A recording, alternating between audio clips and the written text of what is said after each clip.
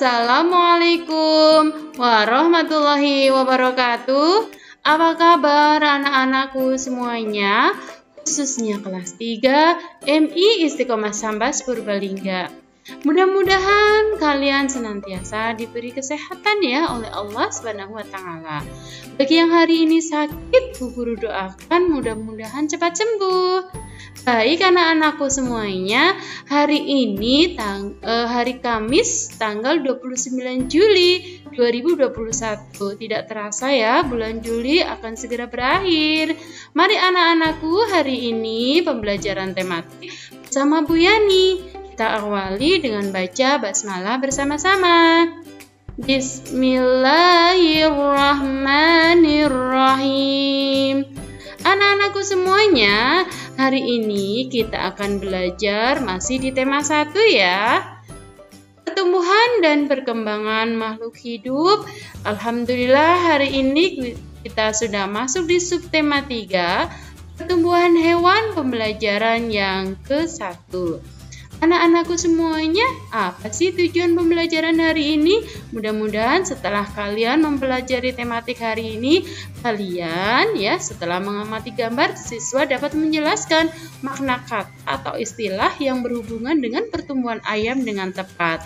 Yang kedua, setelah mengamati gambar, siswa dapat menggunakan garis dan warna untuk membuat karya dekoratif dengan rapi.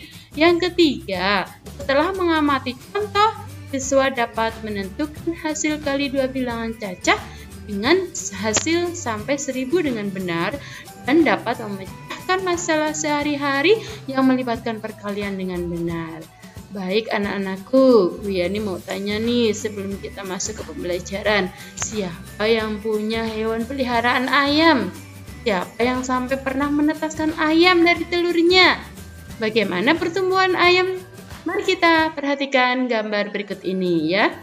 Tumbuhan ayam, kalian perhatikan gambar ini. Yang pertama dari apa? Dari telur ya.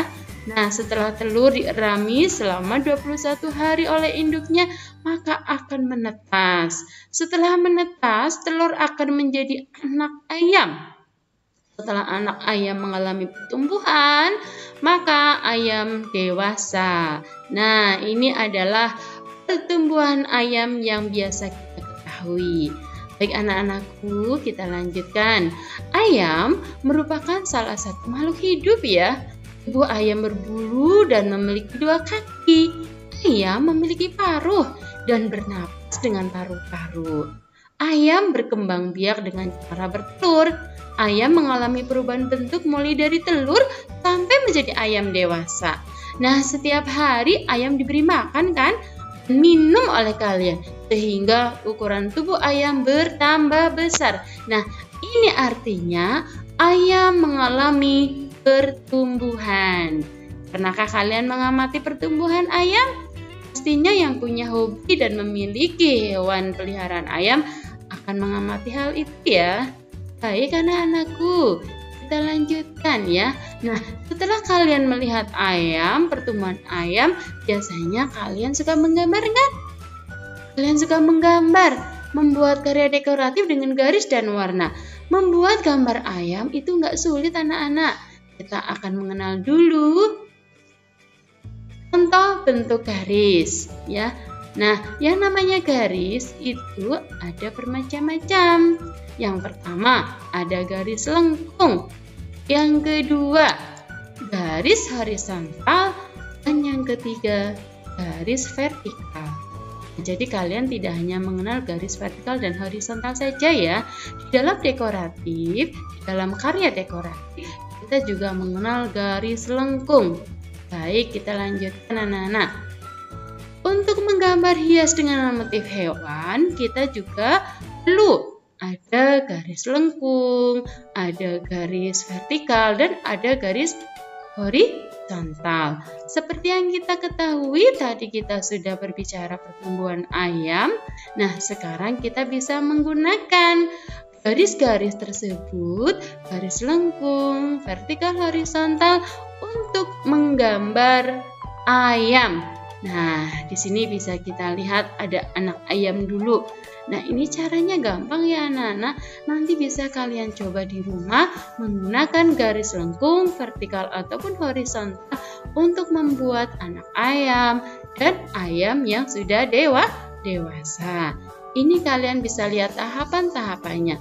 Ada tahapan pertama, kedua, ketiga, keempat, ya, keempat dan kelima. Sudah menjadi apa? Ayam dewa dewasa. Caranya gampang ya. Nanti di akhir pembelajaran ke tema 1 nanti kita akan membuat tugas menggambar hias dengan motif hewan dengan menggunakan garis lengkung vertikal dan horizontal. Baik anak-anakku, setelah kalian mempelajari ayam, ya ayam itu tadi kan sudah telur gitu ya. Tambah banyak yang tadinya hanya ada ayam jantan dan betina yang sudah dewasa, terus akhirnya bertelur dan akhirnya apa?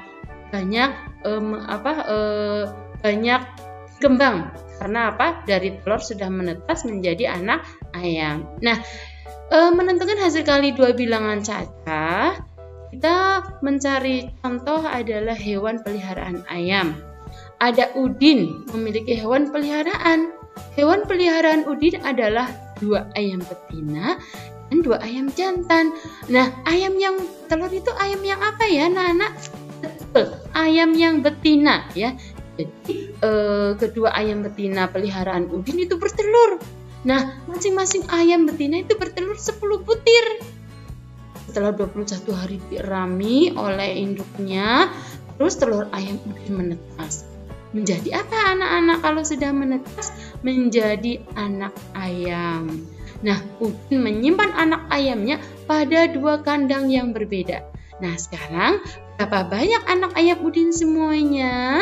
Ingat tadi ya, Udin memiliki dua ayam betina yang sudah bertelur. Nah, bertelurnya 10 butir dari masing-masing ayam tersebut. Berapa ya telur ayam Udin semuanya? Perhatikan jawabannya ya. Nah, ini adalah telur dari induk yang pertama ditambah telur ya 10 telur dari induk pertama 10 telur dari induk yang kedua. Nah jadi jumlah telur udin semuanya dari dua induk yang sudah menetas adalah berapa? 20 butir telur. Tulis dalam bentuk kaliannya adalah 2 kali 10. Jadi jumlahnya berapa?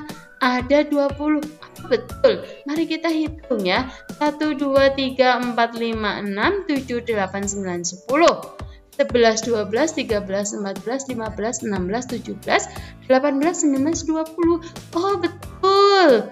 Ayamnya Udin setelah bertelur semuanya jumlahnya menjadi 20 telur karena masing-masing ayamnya sudah bertelur 10 10 2 kali 10 sama dengan 20 baik anak-anakku kita lanjutkan. Nah kalau Udin memiliki tiga buah kandang yang berisi masing-masing 12 ekor yang 12 ekor ayam berapa jumlahnya? Udin memiliki tiga kandang. Nah, setiap kandang ada 12 ekor.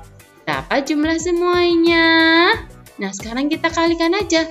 Kandangnya ada tiga, ya. Ditulis dalam perkaliannya adalah 3, 1, 2, 3. Nah, setiap kandang ada 12 kali 12. Jumlahnya berapa? 36 ya. 12 tambah 12 sama dengan 24 24 ditambah 12 sama dengan 36 caranya seperti itu ya. Baik anak-anak. Kalau ada cara lain menyelesaikan soal tersebut seperti berikut ini. 12 sama dengan 10 ditambah 2 ini puluhan ini satuan ya kalikan masing-masing bilangan 10 dan 2 dengan angka 3 Lalu jumlahkan hasilnya. 3 kali 10 sama dengan 30. 3 kali 2 sama dengan 6. Kalau dijumlah sama hasilnya dengan tadi ya. Itu berapa tadi? 36. Sama ya anak-anak? Ya, dengan cara yang pertama dan dengan cara yang kedua hasilnya sama. Berapa tadi? 12 kali 3 sama dengan 36. Anak-anakku, selanjutnya ada soal yang berbeda ya. Apabila 15 ya kali 4 ya, 15 kali 4. Setiap kandang jumlahnya 15 kali 4. Hasilnya berapa? 60. 15 tambah 15 itu 30 tambah 15 45 tambah 15 jumlahnya 60 ada cara yang lain ya anak-anak. Ditulis dalam perkalian adalah 4 kali 15 sama dengan 60 15 itu berasal dari mana? 10 eh, 10 puluhan dan 5 satuan kita kalikan ya masing-masing bilangan dengan angka 4. 10, lalu jumlahkan hasilnya. 4 kali 10 sama dengan 40. 4 kali 5 sama dengan 20. Hasilnya sama, 60 ya. 4 kali 15 sama dengan 60 ya sama dengan ini dengan cara yang kedua dikalikan dengan 4 ya. 4 kali 10 sama dengan 40 4 kali 5 sama dengan 20 jumlahkan hasilnya sama yaitu 60 dalam perkalian dua bilangan itu berlaku sifat pertukaran ya anak-anak. Misalnya 2 kali 3 itu sama dengan berapa?